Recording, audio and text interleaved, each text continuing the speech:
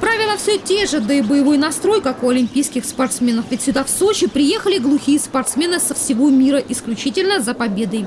В ходе соревнований будет разыграно два комплекта наград среди мужских и женских команд. Спортсмены, конечно, даже что три года назад, что сейчас, э, практически все спортсмены э, удивляются от Сочи. Конечно, вызывает восхищение Олимпийский парк, да и сам климат Сочи. Э, В общем, все, конечно, довольны. Очень довольны. 18 команд из 11 стран мира. Сегодня на ледовых дорожках Польша, Швейцария, Россия, Япония, Канада, Корея и Украина. В день проходит по три тура. Возрастных ограничений нет. Участвуют в международных соревнованиях даже целыми семьями. Интерес к керлингу с каждым разом только возрастает. Вы знаете, э, чемпионат мира третий по счету. Первый чемпионат э, мира проводился в Канаде. Участников было очень мало. Во втором чемпионате стало несколько больше. Сейчас еще больше, что нас несказанно радует. Второе.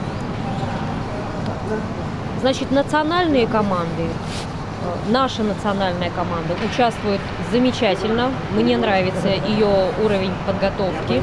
И организация нам, еще раз повторюсь, очень-очень нравится. Сегодня в первой половине дня соревновались мужчины, женщины после обеда. Их тренер убежден, сочинские тренировки не пройдут даром. Конечно, специфика есть, э, некая работа с женской командой, все очень непросто, учитывая, что все девочки из разных регионов собраны, но уровень подготовки достаточно высокий, А, была возможность нам потренироваться, поэтому надеемся показать хороший результат.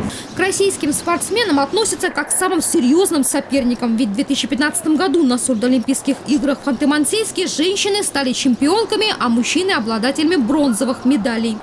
Сейчас чемпионат мира проходит под эгидой Международного комитета спорта глухих, который был образован еще в 2024 году, и Сурдолимпийского комитета России.